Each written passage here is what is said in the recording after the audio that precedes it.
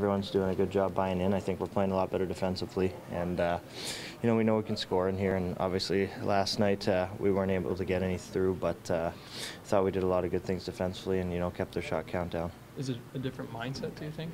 Like thinking defense maybe first before offense, or what do you Um, think it is? geez, I don't know. I can't really put a finger on it. Uh, I think the last couple games we've just played a lot better. You know, get breaking out of our D zone. I think with control more than more than just rimming it around the boards and chipping it out and chasing. I thought we were able to, you know, have control of the puck more, and we used the middle of the ice a lot more.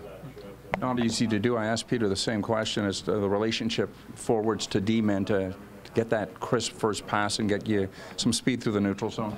Yeah, I mean, it takes a lot of trust. I think the D have to throw a lot of pucks up the middle to the centerman, and you know that's always a risky play. And if, if you if you do screw it up, you're going to look really bad if you turn it over. But that's you know that's pretty much the best way to get get out of the zone these days. And uh, you got to use the middle of the ice as much as you can. So I think we're gaining a lot more trust with each other and uh, using that effectively. Is there a challenge, or will it take some time to play that defensive system, and then also kind of dial in the offensive uh, side of things that you guys had earlier in the season?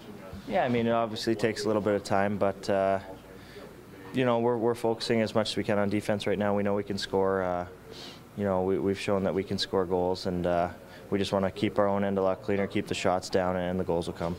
Taylor, uh, Peter was talking about Daniel Winnik having a positive impact playing in the top six. Well, what does he bring to that group, do you think? Yeah, absolutely. I mean, hardworking guy. He can play throughout the lineup. I think you know he brings a, a big net presence, and also you know he's going to win a lot of puck battles down low, and and, and uh, obviously defensively he's going to get you the puck and uh, create a lot of havoc all throughout the ice. So he's a he's a great guy to have on your line. These big teams, uh, the chances to score off the rush fewer and far between. Is it something you guys can do and something we saw quite often from at least your line in the beginning of the season? Yeah, I mean, obviously, whenever you get a chance on the rush, you, you want to make the most of it. But uh, I think most importantly, we got to get pucks in in the zone and, and, get offensive zone time. I think you know when you just miss the net or, or, something when you're on a rush and you come back and play defense for 30 seconds and get off the ice, you're, you're not really controlling the play. And I think we got to get more to, you know, playing in their zone, cycling, getting pucks to the net that way. Peter was saying uh, he was tempted last night to go back maybe to yourself and Phil and JVR, but is it nice, no matter what happens though, is it nice to know that that's there? He says that instant chemistry is there when called upon? Yeah, I think so. I think uh, you know I think we've been playing well with the lines that we did have the last couple games. But uh, you know if we're down or, or something like that, and, or we need a spark, or they want to change things up, we got a lot of different combinations they can use. So I think that's good.